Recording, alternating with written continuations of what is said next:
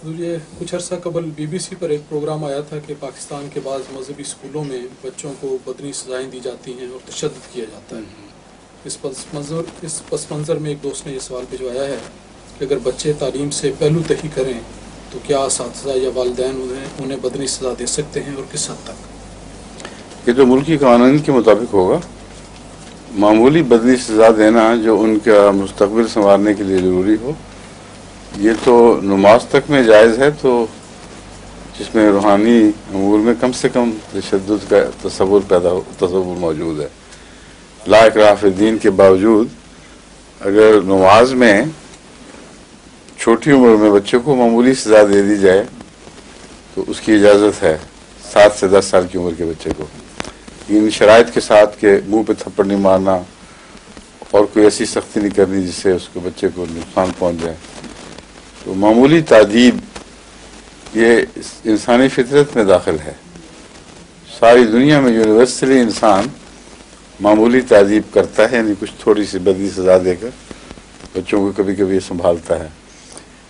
इस्लाम में जो ज़ोर है, वो इस बात पर है कि बेहंगम सजा नहीं देनी, इश्तियाल में आके सजा नहीं देनी, बच्चों को नुकसान नहीं पहुंचाना। इस उम्र से नीचे बदली सजा नहीं देनी, इस उम्र के बाद बदली सजा नहीं देनी। तमाम इस्लामी कवानीन रोकें आयद करने वाले हैं, ना कि खुली छुट्टियाँ देने वाले। लेकिन ये दुरुस्त है कि स्कूलों में बाज़ दफ़ा बेधड़क मारने का रुझान और ालमाना तौर पर सजा देने का रुझान बन जाता है। जो उस्ताद की फितरत बन जाती है, बजाय इसके कि इसलाही निज़ाम का हिस्सा हो।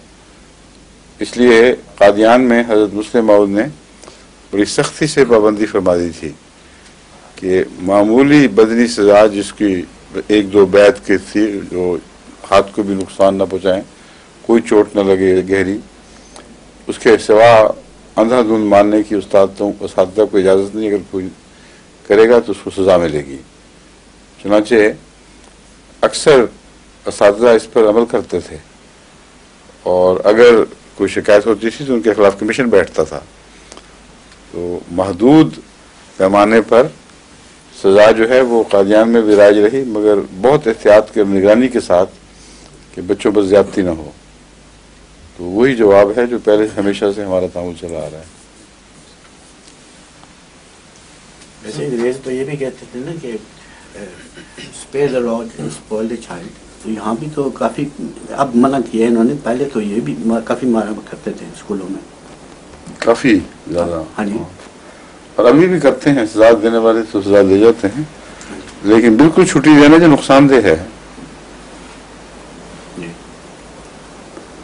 उसके ऊपर स्पेयर द रॉड के ऊपर पहले सख्ती से अमल उन्होंने इस तरह किया कि रॉड के ऊपर बहुत ज़्यादा ज़ोर दे दिया। अब स्पॉइल द चाइल्ड पर ज़ोर दे रहे हैं, काफ़ी। जिस तरह मुमकिन हो बच्चों को स्पॉइल कर दो।